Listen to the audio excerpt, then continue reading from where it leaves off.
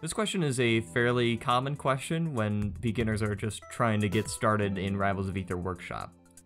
So I'm going to assume that you already have a template subscribed to, such as Sandbert or Guadua, or Sandbert the Phone, or Sandbert Jr., or the Sandlocks, or pretty much any of the templates that are out available by the devs. So first things first, we need to do is actually find our template. So go to Rivals of Aether here on the right side for Steam, right click, go to Manage, Browse Local Files. Alternatively, if you don't have that, go to Properties, Local Files, then Browse. From there, you'll be taken to where you have installed Rivals of Aether.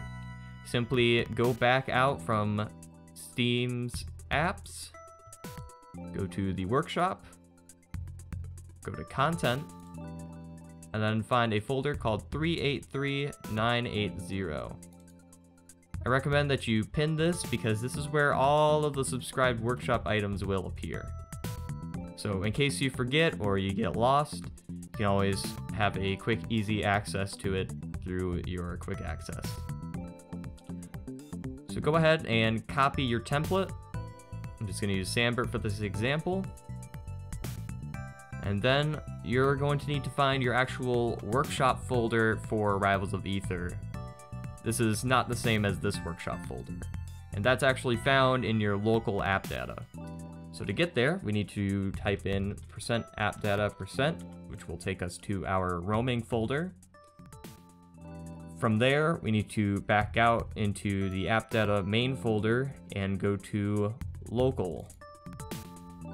From there, just scroll down until you find your Rivals of Aether folder.